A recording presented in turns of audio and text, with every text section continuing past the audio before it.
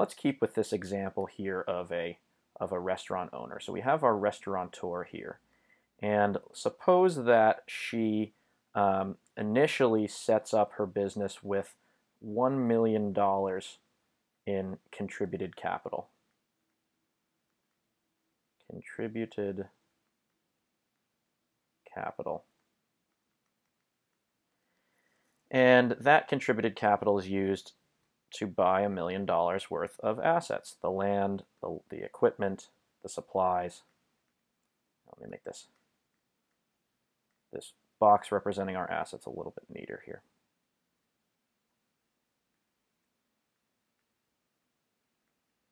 So we have our assets, and these assets are used to produce income. So we've got our restaurant here, and suppose this restaurant is doing surprisingly well. So the food's great, the customers are loving it, we're filling up every single table every single night, uh, we're getting written up in the newspaper, there are lines outside the door, and this owner is saying to herself, you know, this is doing much better than I expected. And, you know, maybe I'm serving 200 meals a night uh, because the business is really operating at full capacity. Everything's get, every table's getting taken up. So I figure if I can just increase my business's capacity, and uh, you know, I think I have enough demand here to serve twice as many meals each night, uh, then I can serve twice as many customers and make twice as much income.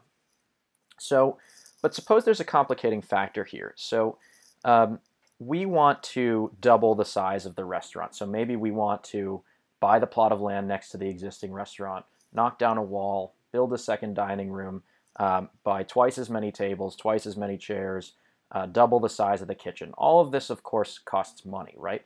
But suppose that our owner, our uh, uh our shareholder uh, of this restaurant, the restaurateur, has already spent all of her money in the restaurant's existing assets. So all the existing tables and chairs and, and the building uh, are, are tying up all of our owner's uh, cash. So she's a little bit strapped for cash, but maybe she's really confident that this expansion is going to be quite successful. So she can go to a second source of funding, and maybe she goes to a bank. So let's put the bank up here. Here is our here is our bank. And a bank can provide a loan. And since we're doubling the amount of assets, and we already had a million in assets, we're going to take a loan to fund a second million dollars worth of assets. We're essentially cloning the first part of the business and kind of stacking it on top of the second part, or, or stacking it on top of the first part of the business. So we've got our original assets down here, and our expansion, our second set of assets, up here. So we have this loan, this million dollar loan outstanding, and this creates what is called a liability.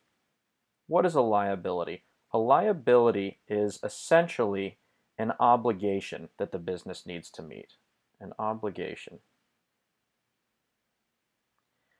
Now, the liability is any liability is essentially um, or something as a liability if it is if it is borrowed. So liabilities are what is borrowed. Because the original set of assets that we were using to operate wasn't being borrowed.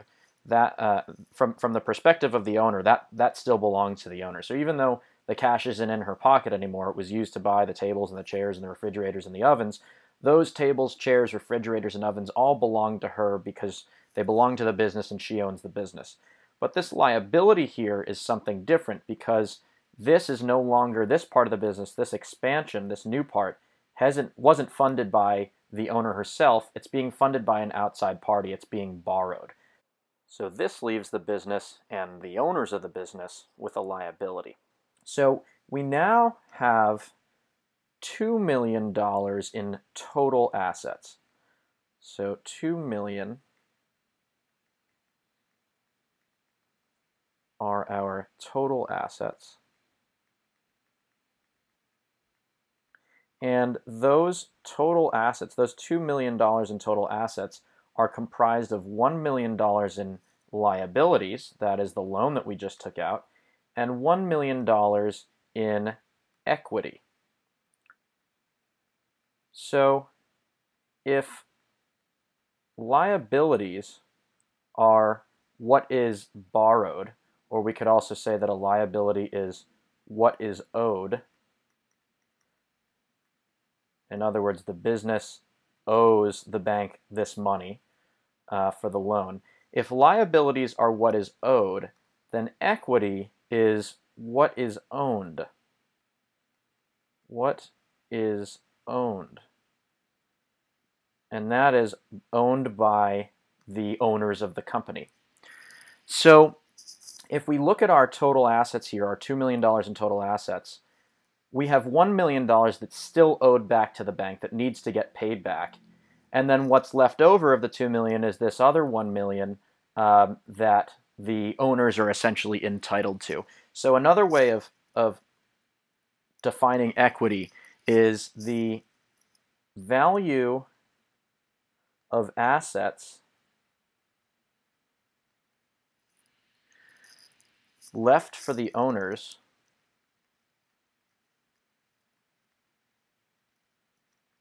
once liabilities or the obligations, once the liabilities, oops, losing my connection here. Once the liabilities have been satisfied.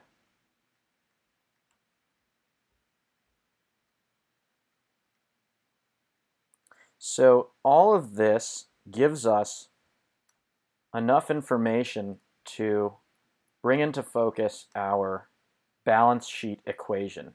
And the balance sheet equation is also called the fundamental equation of accounting because it's that important.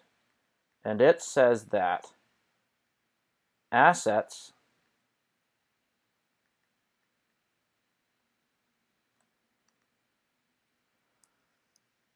assets equal liabilities plus equity. So in our case here, our $2 million in assets are comprised of 1 million in obligations, something that's being borrowed from an outside party, and then 1 million that was originated by the owners themselves. Looks like we're losing our connection here. Okay, so in other words, this is the portion of the assets. This is the portion of the assets that is being borrowed. It's essentially being financed from creditors, or those are people who are letting us borrow something of theirs, borrow assets of theirs. In this case, we're borrowing cash from them. And this is the portion of assets, the equity, that's being financed by the owners. So another way of looking at this balance sheet equation here is that this equation tells us what portion of assets are funded by the owners themselves and what portion is being borrowed. Or another way of thinking of it is it answers the question to whom does the business owe its existence, right? Because the business is sort of made up of its assets. So the, the, the restaurant is made up of all the things inside it. And we have to ask ourselves when we're looking at this equation, this, this equation tells us of all the assets that we're looking at here, of all the stuff that the business has to work with, how much of it does it have the owners to thank, and how much of it does it have the creditors or the people who lend it something to thank it for? So that's really the, the, the foundation of, of the balance sheet. It, it tells you what portion of the, uh, of, the, of the total business is being provided by each of these two types of parties.